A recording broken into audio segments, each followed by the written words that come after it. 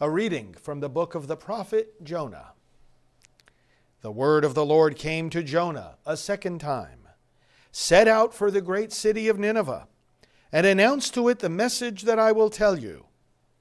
So Jonah made ready and went to Nineveh, according to the Lord's bidding. Now, Nineveh was an enormously large city. It took three days to go through it. Jonah began his journey through the city and had gone but a single day's walk, announcing, Forty days more and Nineveh will be destroyed, when the people of Nineveh believed God. They proclaimed a fast, and all of them, great and small, put on sackcloth. When the news reached the king of Nineveh, he rose from his throne, laid aside his robe, covered himself with sackcloth, and sat in the ashes. Then he had this proclaimed throughout Nineveh by decree of the king and his nobles Neither man nor beast, neither cattle nor sheep shall taste anything. They shall not eat, nor shall they drink water. Man and beast shall be covered with sackcloth and call loudly to God. Every man shall turn from his evil way and from the violence he has in hand. Who knows? God may relent and forgive and withhold his blazing wrath, so that we shall not perish. When God saw by their actions how they turned from their evil way, he repented of the evil that he had threatened to do to them. He did not carry it out. The word of the Lord. Thanks be to God. A heart contrite and humbled, O God, you will not spurn. A heart contrite and humbled, O God, you will not spurn. Have mercy on me, O God, in your goodness. In the greatness of your compassion, wipe out my offense. Thoroughly wash me from my guilt, and of my sin cleanse me.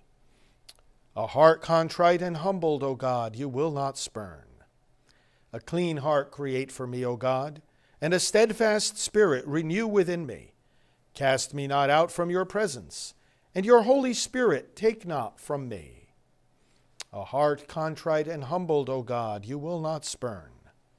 For you are not pleased with sacrifices. Should I offer a burnt offering, you would not accept it. My sacrifice, O God, is a contrite spirit. A heart contrite and humbled, O God, you will not spurn. A heart contrite and humbled, O God, you will not spurn.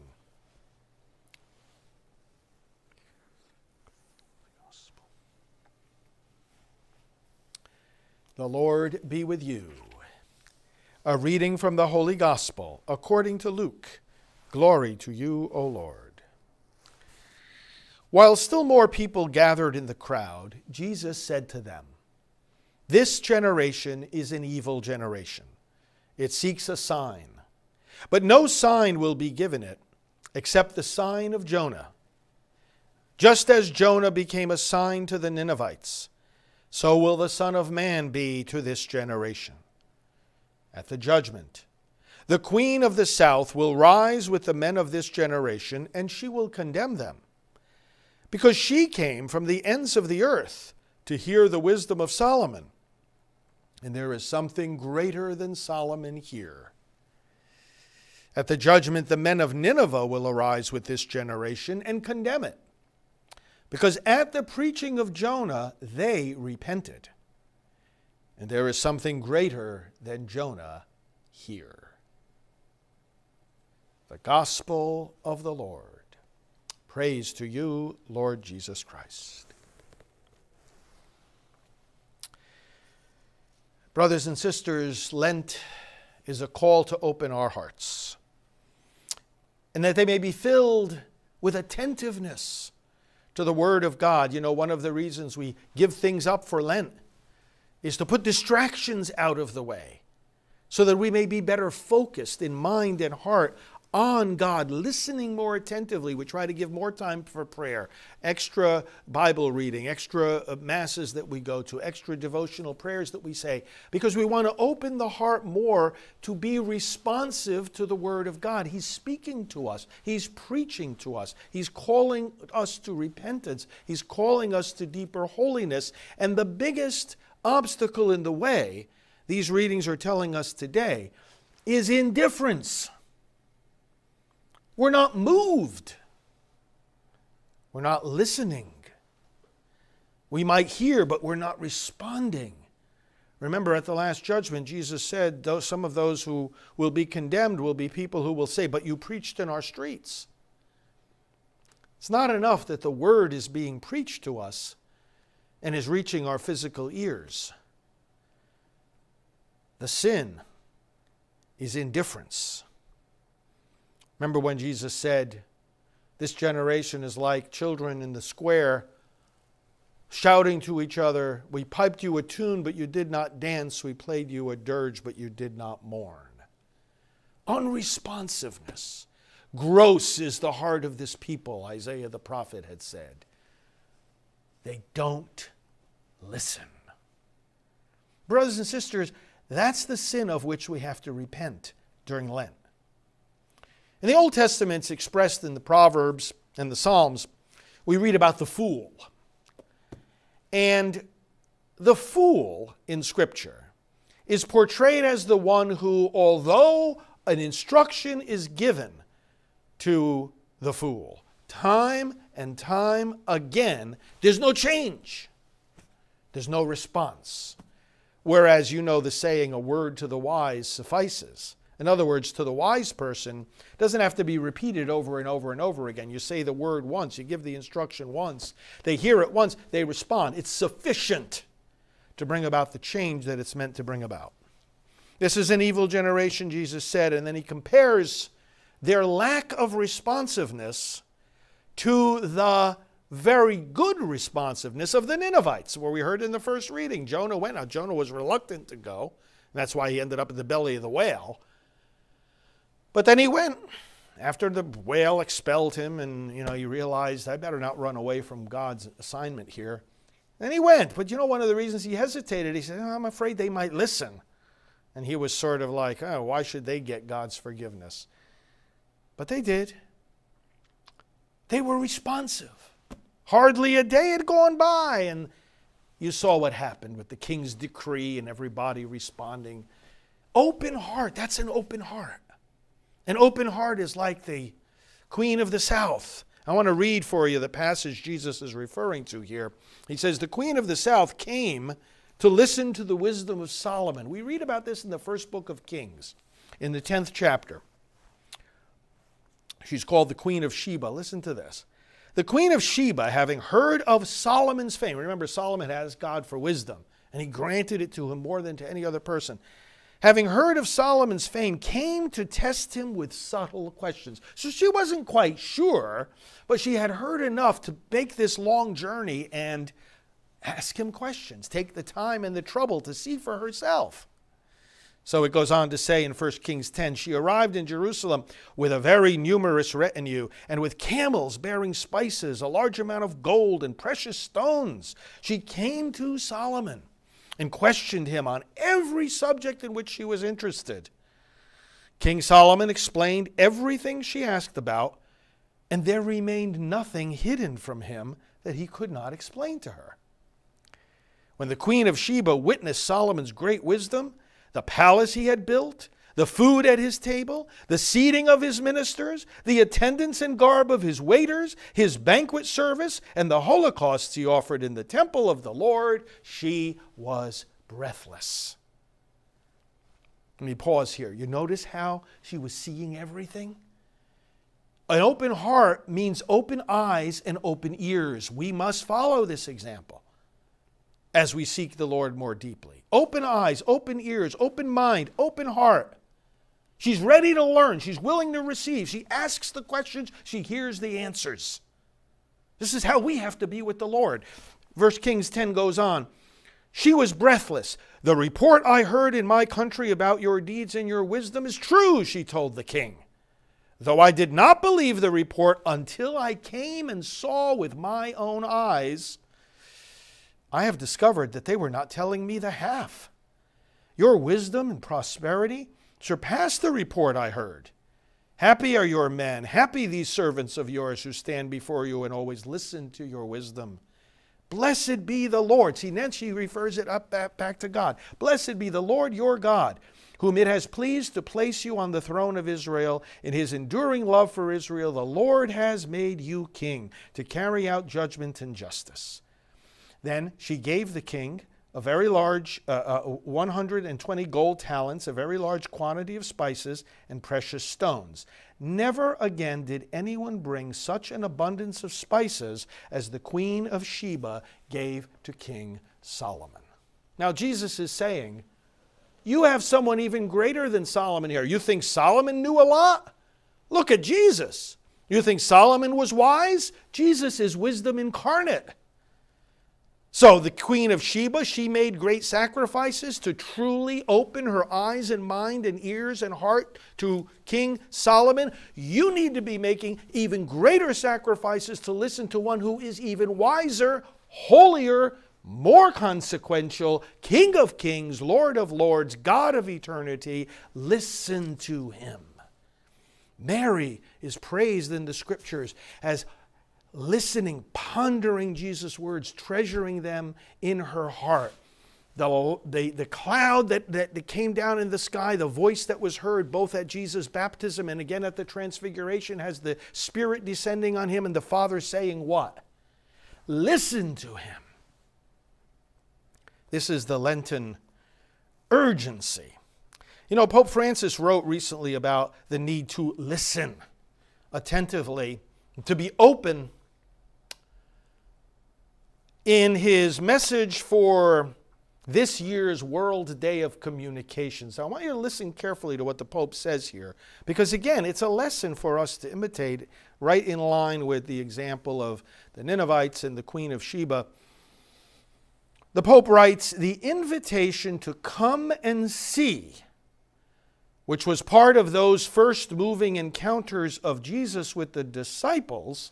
Let me pause there. Remember when they were on the road, they weren't quite sure if they wanted to follow him. Rabbi, where are you staying? Instead of engaging in a discussion with them there in the middle of the road, he says, Come and see. Come and see for yourself. Queen of Sheba had heard the report, but that wasn't the half of the truth, that she was willing to come and see. The Pope goes on this is also the method for all authentic human communication. Listen carefully to what he says, because this is sorely lacking right now in the church and in our society. The Pope writes, it is necessary to move beyond the complacent attitude that we already know certain things. Don't we all think that? Oh, we already know what the gospel says. Oh, we already know the Lenten message. Oh, we already know the creed. Oh, I already know what that person's like. Oh, I already know what that ministry is all about. Oh, yeah, I've heard some negative things about those people. We can't associate with them. We already know. In our pride, in our arrogance, in our closed mind and hard heart, we don't take the time and the trouble to listen even more. We don't take the time and the trouble to say, maybe there's something new here for me to hear. The Pope says we think we already know certain things. And then he goes on to say, instead, we need to go and see them for ourselves, to spend time with people to listen to their stories and to confront reality, which always in some way surprises us. Isn't that what happened to the Queen of the South? And that's what needs to happen to us. It doesn't matter how long we've been following Jesus Christ. Most of us were raised in the faith, baptized as infants. We know. And yet there's always more to learn. You know what the, I've always said the biggest temptation for a priest is not off the, to run off into some kind of, uh, with, with some woman or some kind of sexual sins. No, the biggest temptation is indifference. We take the sacred for granted. Oh, well, it's, uh, it's another day. Oh, it's just another Mass. Oh, it's just another baptism. Oh, it's just another. What do you mean, just another? Every one of these things is a miracle. Every encounter with Christ is an awesome, unbelievable moment, sacred, heart thrilling moment, soul energizing encounter. We must never get tired of it. There's no need to ever get tired of it. I don't know if you remember the Anglican minister Geoffrey Studdert Kennedy wrote a poem called Indifference. He called it Indifference when Jesus came to Birmingham. Listen to this. When Jesus came to Golgotha, they hanged him on a tree. They drove great nails through hands and feet and made a Calvary. They crowned him with a crown of thorns, red were his wounds and deep. For those were crude and cruel days, and human flesh was cheap. When Jesus came to Birmingham, they simply passed him by. They would not hurt a hair of him, they only let him die. For men had grown more tender, and they would not give him pain. They only passed down the street and left him in the rain. The sin of indifference. Oh, there's nothing to see here. Oh, it doesn't matter. Oh, I can't be troubled. To learn more about the Word of God, to learn more about this person in my life, I can't be troubled. We become indifferent to the evils in the world, settling in our mind with this idea that, oh, well, there's nothing we can do to change it. We come become indifferent to poverty. As if the gospel is just to say to the poor, oh, don't worry, God still loves you, rather than a force that will cause us to respond so that they are poor no longer. Or the evil of abortion, just to say, oh, well, you know, it's other people's choice and oh, there's nothing we can do about it, instead of rising up with vigor every day and a determination to end this killing, to stop this violence, to stop this Holocaust. And you know, sometimes we spiritualize our indifference. And we say, we put it in spiritual terms. Oh, well, you know what really matters is that in the, you know, we're saving souls. Uh, you know, we don't have to worry about the, these babies being physically dismembered. You know, it's really just about, you know, uh, saving uh, hearts and we spiritualize it and say, no, we have to stop the physical killing. We have to actually feed the poor. We actually, actually have to house the homeless. We have to stop the violence, end the evil. Not be indifferent and think that we can't change anything. This is what God is calling to, God is trying to arouse us during Lent. Like He aroused those Ninevites, like the queen of the south was aroused to come to see Solomon face to face. What happens with elections? We were just, just came through a very contentious and consequential election. And I heard people of faith sometimes just over spiritualizing everything. Oh, well, elections really don't matter because, you know, God is going to accomplish his will anyway. What do you mean they don't matter? Of course they matter. To the, to, the, to the lives of the unborn, to the freedom of the church, it matters in a million ways. We can't spiritualize our indifference. Dress up our cowardice and laziness in spiritual language and rationalization. Let's let ourselves be awakened. Let's let our souls be stirred. Let's let our hearts be open. The man born blind. The Pharisees, they saw the miracle. Had never been heard of before that anyone opened the eyes of a man born blind. But no, they closed their hearts to Jesus. They would not believe it. They threw him out of the synagogue and anybody that will acknowledge Jesus. Ah, we already know. We already know who this man is. We know that he is a sinner, they said of Jesus. Like the Pope warned us about this, this attitude that we already know. Ah, we know this man is a sinner. He cannot possibly be from God. But the blind man didn't take that approach. He had an open heart so that when Jesus, in the end, asked him if he believed in the Son of Man, what he said was not, Oh, I already know who you are.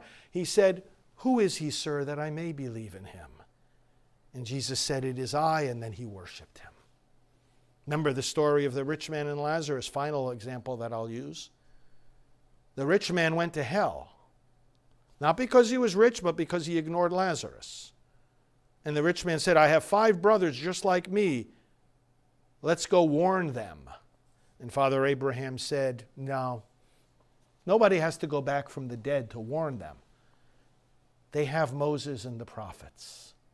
In other words, the problem is that they was not that they, they didn't have the message that you have to help the poor and help the lowly and save the distressed. Problem wasn't that they didn't have the information. Problem was that their hearts were closed. That gross is the heart of this people, as Isaiah said. Oh no, Father Abraham, but if someone goes back from the dead, then they will repent. And sometimes we are like that. Yeah, we have the word, and then again, it becomes, oh, you know, we get used to it. It becomes indifference. And we think, oh, but you know, if we saw a vision, you know, then we would listen. If Jesus were to come down and tell us exactly what to do, then we would listen, then we would respond. Don't be so sure. If our hearts aren't open right now, if we're not responsive right here today to what might seem like the same old thing, the reading from the scripture, the same old gospel passage we heard, the same old prayers we always say, if we're not responsive now, don't be so sure would we, we would be more responsive then if someone appeared to us from heaven or came back from the dead. They have Moses and the prophets, Father Abraham said. Let them listen to them. If they do not listen to Moses and the prophets, neither will they be convinced, even if one should rise from the dead. Lord, give us the responsiveness that the Ninevites had, that the man born blind had, that the queen of the south had. Give us that eager responsiveness and openness to what your word tells us today we must do and we must be. Change us and make us holy and help us to confront the evils of the world with the confidence that we can change that too. Lord, make us holy that we may have a truly meaningful Lent and a true encounter with you. Amen.